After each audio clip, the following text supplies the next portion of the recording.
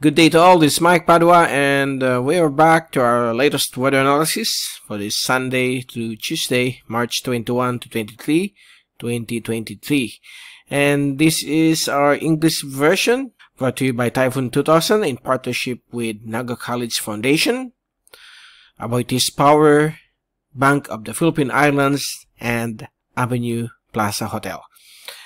So, uh, before we begin, we have a uh, tropical cyclone, which is now a severe tropical storm named Mawar, and uh, it is uh, likely to become a Category 1 typhoon with winds of 120 or 130 kph later tonight or early tomorrow morning as it moves slowly in the general direction of the northern Mariana Islands wherein Guam and uh, Saipan is in danger to be affected by a Category 2 or Category 3 typhoon come Wednesday.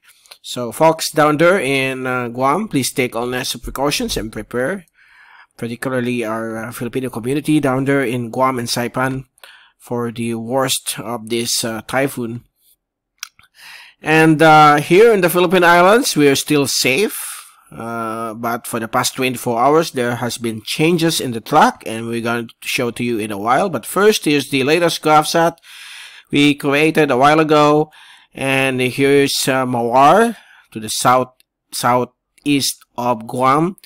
Now, uh, having uh, some uh, sustained winds of 110 kph, so just 10 kilometers shy of becoming a Category 1 typhoon as it moves towards the north-northwest at speed of 17 kph.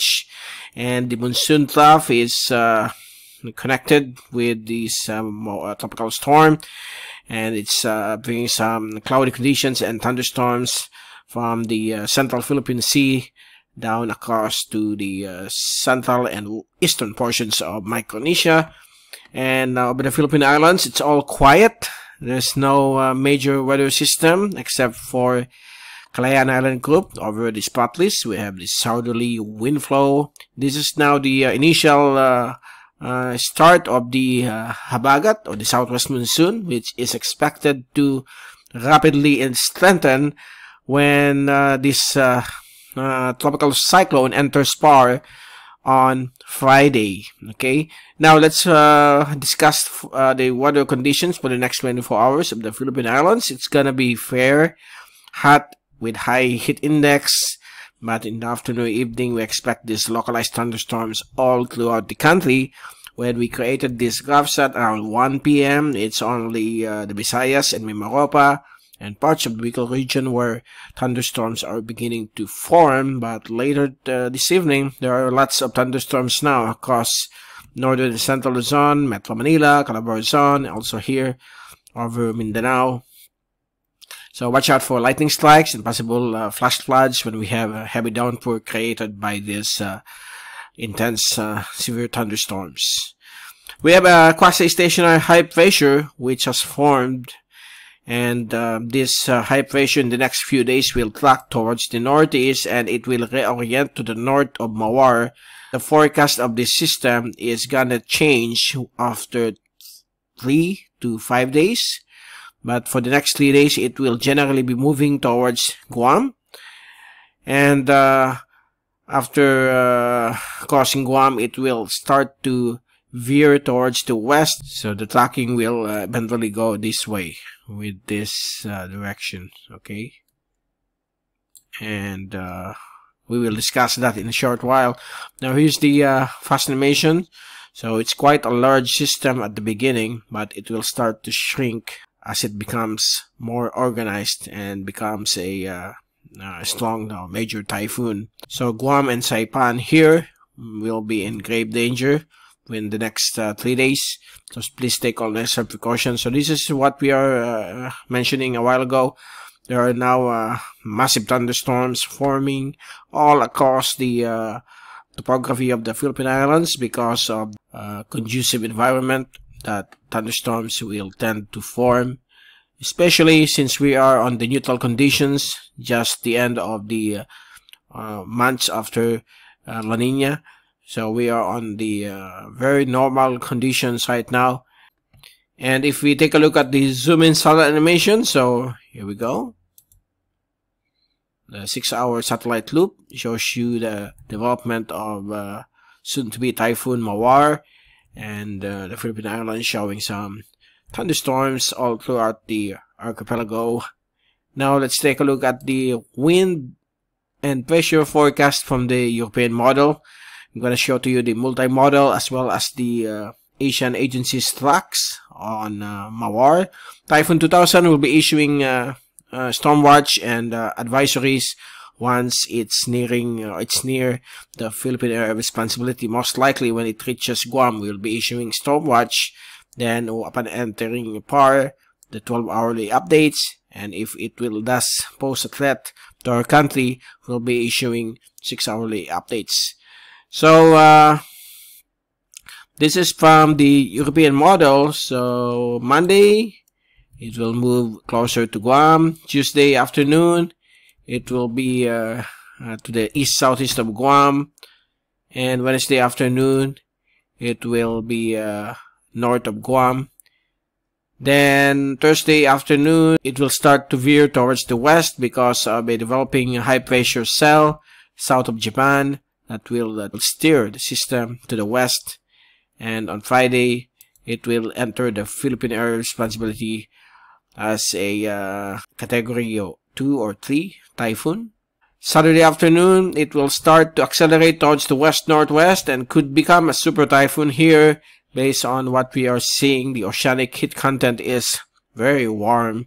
So uh, I would be surprised if it, it will become the first super typhoon of 2023 since the forecast mostly of the climate models calls for above average tropical cyclone formation in our basin and maybe we'll be having uh, a maximum of 8 super typhoons this year. That's usually the trend when we move into an El Nino climate.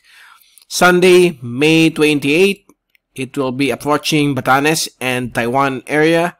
So areas here over extreme northern Luzon, please take all necessary precautions if the track won't change. 29, it will pass very close to uh, Batanes.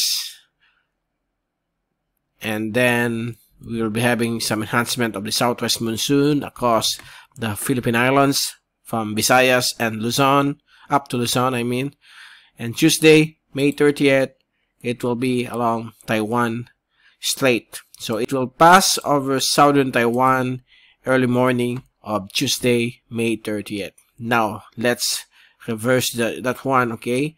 So, the forecast of uh, uh, beginning Friday, because the five-day forecast, one, two, three, four, is until Friday. So, from Friday until Tuesday next week, May 26 to May 30, May 30th, is considered very low in probability. So, there will be some changes still once the system approaches PAR, we'll be having some more reliable uh, forecast and we will see if the track remains or it will track more to the north. So likely this will be the area of concern. Okay, we will include northern Luzon because there is also a possibility that it will dip down depending on the strength of the high pressure. So it might go here or here or here. So that's the scenario that we are going to uh, uh, observe in the coming days. So just like what I said, this is still highly uncertain or low probability where it will go. And that's only from the European model. While if we take a look at the uh, American model, I'm going to show to you here. So these are all the computer models.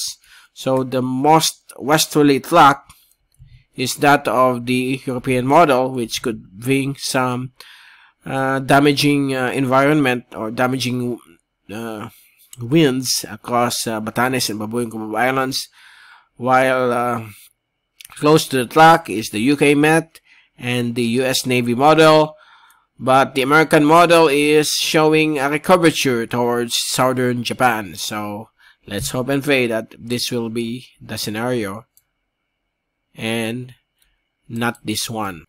And uh, Canada look at Canada. It's not uh, even affecting any parts of Asia so this is uh, very nice but we are uh, weighing more into the uh, group of reliable computer models which is this one okay so let's hope and pray changes will still occur for the next uh, 24 to 72 hours. Now uh, let's take a look at the multi-model diagnostic comparison for the next uh, five days. So the storm is here right now. So the forecast intensity uh, maximum of the models or most likely it could become a category 4 typhoon of uh, 220 kph and could become a super typhoon here. 230 240 kph right here. So this is the uh, upper uh, hand of the computer models while the lower uh, portion of the computer model shows uh, the winds of just uh, category 2 status 160 kph so uh, we shall wait and see. But if we take a look at the other model which is uh, let me see here. This one. This is the CHIPS ensemble. And then the CHIPS ensemble is so wide okay the distribution of the forecast of the winds of Mawar in the next uh, five days and this uh, other uh, of the ensemble CHIPS model shows the storm reaching category 5 winds of the 290 to 300 kph while others are here just a tropical storm. So the uh, JTWC is showing graph on the wind velocity. And anything is uh, likely. So the possibility of becoming a super typhoon remains because of gonna show it to you here. Wait wait okay. High oceanic heat content. This is the uh, oceanic heat content.